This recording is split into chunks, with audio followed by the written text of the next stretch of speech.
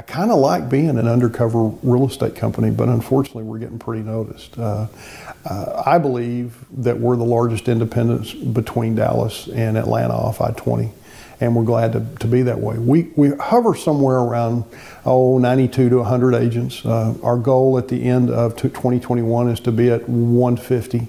Our goal at in three years is to be at 300, and in five years to be somewhere between 500 and 1,000. It's a very simple business plan. We're invitation only. I'm not looking for warm bodies, okay? I'm also not looking for top producers. I'll take top producers and we want them, okay? We're looking for people that are family and hold our values.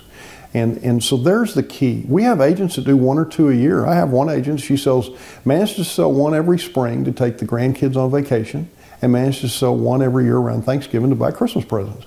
That's what she wants. And guess what? She's an amazing family member and is no trouble for the staff, and she's one of the best cooks we have. So yeah, keep her around. But um, so the goal, the goal is to continually, continually grow, but grow in the right. Now, do we make mistakes? Absolutely. I've gone into markets uh, that I shouldn't have. I went too early.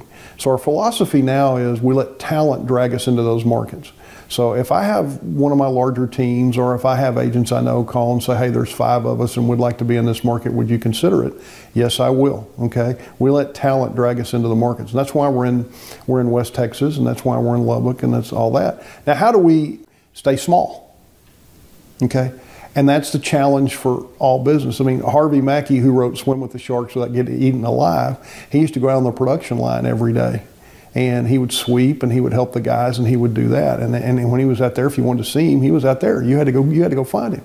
So the goal is I stay very active with the agents. I answer phone calls. Last night I was on the I was on the phone till 10 o'clock with agents. They're dealing with problems, and we fight it every step of the way because as we get bigger, we do have to have infrastructure. Okay, but as we get bigger, it's more important then for our talent to have access to the leadership. Okay, does it burn us every now and then? Do we get somebody that goes off on their own and tries to take advantage of us when they leave and all that? Absolutely. That's a reflection of them, not us. I do this because I want to do it. Okay?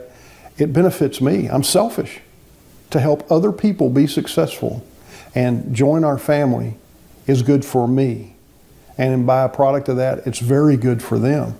If they choose someday to go off and start their own, I've had people leave uh, and that's fine. Okay, uh, but what we want to do is we want to build a family. We want to have always have access to ownership or leadership, and we want the answers to be as good as possible for them at any level. I don't ever want to be so big that an agent can't call me and get a call back that day. Usually, I answer the phone right then. This is the first time we're sitting here doing this interview, and my phone is off. My phone has not been off during business hours. I can't remember when okay? One time on a golf course, okay? Because I got, it was one of those days. But, you know, this, we turned the phone off so we could get an interview done because it's that important to me. And it, because our agents are asking for this, they want people to know who they're with and why they're with them, okay? If you make it, if you make your career all about money, you're going to have a very bad career in real estate and it's going to be short. If you make it all about doing the right things, and growing your company in the right way, having access to leadership. I feel sorry for some of these agents that are at franchises that have never met their broker, don't know their broker, their broker's in another town. They tell them to call TAR Legal Hotline should they have a problem.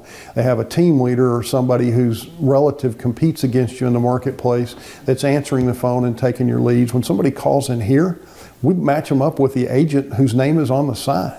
So it's important for us to have the ethics that everybody claims they have, we have them.